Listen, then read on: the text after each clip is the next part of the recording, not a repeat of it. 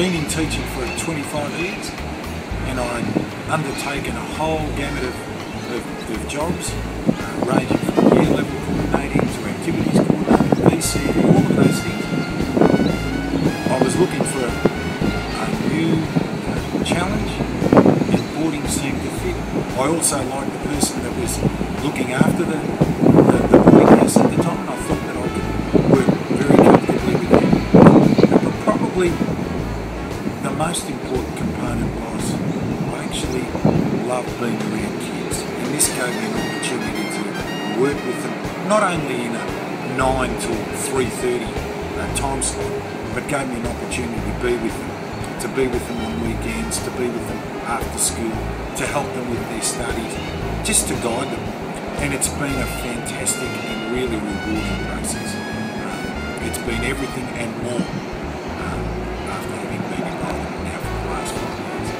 Look, I've been teaching for a long time before I entered boarding, and uh, I really enjoyed teaching and, and the academic side of it. But uh, the thing that really appealed to me more than teaching a subject was was uh, trying to help uh, help students in their in their journey. So I suppose what attracted me to it was the holistic education, the idea of uh, trying to uh, improve or, or make available or give the opportunities to students to grow up and uh, provide them with a safe environment. I like working at a boarding school because I went to a school as a day girl, but it was a boarding school.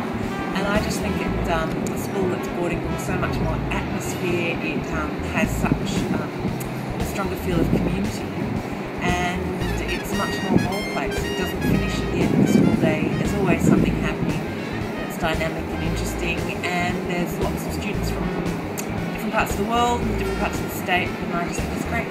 28 years in the army, so we were dragged around the world every two years. So I probably wish that, in fact, I've been able to stay in one place and do all my education. So the concept of boarding appealed to me um, from that. Look, I'm a great believer in that uh, things are meant to happen. And I sort of fell into boarding. I hadn't had a lot of experience with boarding until I came to the school. An opportunity came to move into boarding, and I did so.